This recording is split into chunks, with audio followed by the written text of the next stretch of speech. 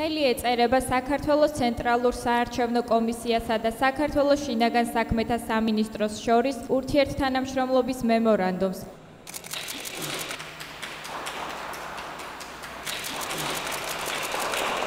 მოგეხსენება წინა საარჩევნო პერიოდი აქტიურ ფაზაში შევიდა არჩევნების მაღალ დონეზე დასავლური სტანდარტების შესაბამისად ორგანიზებისთვის უმთავრესი პირობაა საარჩევნო კანონის მაქსიმალურად დაცვა, შესაბამისი უწყებების კოორდინირებული მუშაობა და უსაფრთხო საარჩევნო გარემოს შექმნა. სწორედ ამიტომ დღეს CSKO-ს თავმჯდომარესთან ერთად მნიშვნელოვან დოკუმენტს მოვაწერე ხელი. შინაგან საქმეთა სამინისტროსა და CSKO-ს შორის გაფორმებული ურთიერთგაგების მემორანდუმი გულისხმობს ჩვენი უწყებების კოორდინირებულ მუშაობას როგორც წინა საარჩევნო, ასევე საარჩევნო პერიოდში. ყველას გახსოვთ, როგორი მაღალი დასავლური სტანდარტის პირობებში ჩატარდა გასულ წელს საპარლამენტო არჩევნები. საქართველოს მოქალაქეებმა საკუთარი ნების გამოხატვა შეძლეს თავისუფალ და უსაფრთხო გარემოში ყველა საერთაშორისო დემოკრატიული ნორმის დაცვით. მიმაჩნია რომ შინაგან საქმეთა სამინისტროსა და CSKO-ს შორის თანამშრომლობის სწორად დაგეგმვა და წარმართვა იქნება წინაპირობა იმისა, რომ 2017 წლის ოქტომბერში დაგეგმილი ადგილობრივი თვითმმართველობის წარმომადგენლობითი და აღმასრულებელი ორგანოების არჩევნები მშვიდ, უსაფრთხო და თავისუფალ გარემოში ჩატარდეს.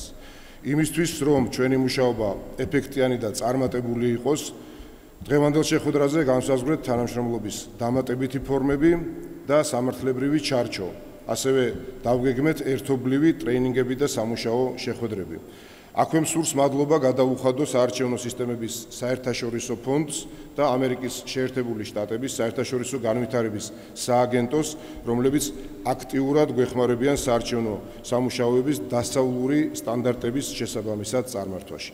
დიდი მადლობა. წინა საარჩევნო პერიოდი უკვე აქტიურ ფაზაში შევიდა და ცხადია, უსაფრთხო საარჩევნო გარემო ეს ის პრიორიტეტია და აღიარებული საერთაშორისო სტანდარტი რომლის უზრუნველყოფაც გადამწყვეტად მნიშვნელოვანი და აუცილებელია კარგად ორგანიზებული არჩევნებისთვის. შვიდობიანი და თავისუფალი საარჩევნო გარემო. ცხადია უმნიშვნელოვანესი საფუძველი ამისთვის უსაფრთხოება და ამის უზრუნველყოფა. სწორედ ამიტომ საარჩევნო სისტემების საერთაშორისო ფონდის IFS-ის ხელშეწყობით CSKO-სა და შინაგან საქმეთა სამინისტროსთან თანამშრომლობით არაერთი მნიშვნელოვანი ნაბიჯი გადაიდგა იმისთვის რომ ამ მიმართულებით ჩვენ ეფექტური მომსახურება გაგვეწია ამ მომრჩევლებისთვის. გასულ წელს პირველად ცენტრალურ საარჩევნო კომისიასა და შინაგან საქმეთა სამინისტროს შორის გაფორმებული მემორანდუმის საფუძველზე განხორციელდა მნიშვნელოვანი სწავლება, ტრენინგები უსაფრთხოების უზრუნველყოფის მიმართულებით და ჩვენი თანამშრომლები სწორედაც რომ პროფესიულ დონეზე ემსახურებოდნენ არჩევნებზე მისულ თითოეულ ამომრჩეველს და რისის შედეგით ცხადია იყო ის, რომ არჩევნები ჩატარდა შვიდ და უსაფრთხო გარემოში. ეს აღინიშნებოდა როგორც ადგილობრივი, ისე საერთაშორისო დამკვირვებლების ანგარიშებში, ისინი ერთხმად აღნიშნავდნენ, რომ ძირითადად შვიდობიანი და უსაფრთხო საარჩევნო გარემო იყო, სადაც თითოეულ ამომრჩეველს ჰქონდა შესაძლებლობა თავისუფლად განეხორციელებინა თავისი კონსტიტუციური ხმის მიცემის უფლება.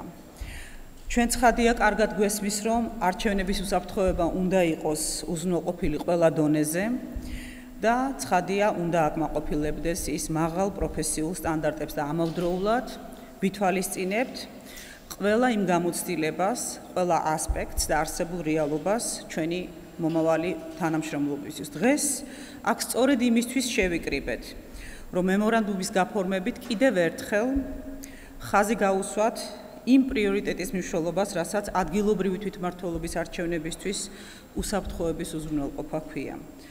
ჩვენ ყველამ კარგად დავინახეთ, რომ საკითხისადმი სისტემური მიდგომა, პროფესიული მიდგომა და მკვეთრად გამიჯნული ფუნქციები უწყებებს შორის იყო კარგი შედეგის მომტანი. წელსაც სწორედ ამ პრინციპებით ვიხემძღვანელებთ და საარჩევნო ადმინისტრაციისა და შინაგან საქმეთა სამინისტროსთან თანამშრომლობის შედეგად ჩვენ ამ ღონისძიებებს ერთობლივი თანამშრომლობით გავატარებთ უსაფრთხოების მიზნებისთვის.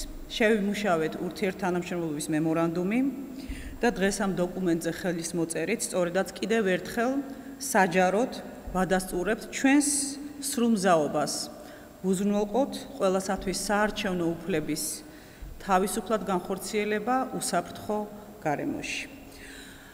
და ბოლოს, მადლობა მინდა გადავუხადო განსაკუთრებული და ნაყოფიერი თანამშრომლობისთვის შინაგან საქმეთა სამინისტროს თანადგომისთვის და რა თქმა უნდა, ასევე დიდი მადლობა საარჩევნო სისტემების საერთაშორისო ფონდს IFES და ამერიკის შეერთებული შტატების საერთაშორისო განვითარების სააგენტოს USAID-ს უსაფრთხოების და საარჩევნო პროცესების საკითხებისადმი ხარდაჭერისთვის. დიდი მადლობა.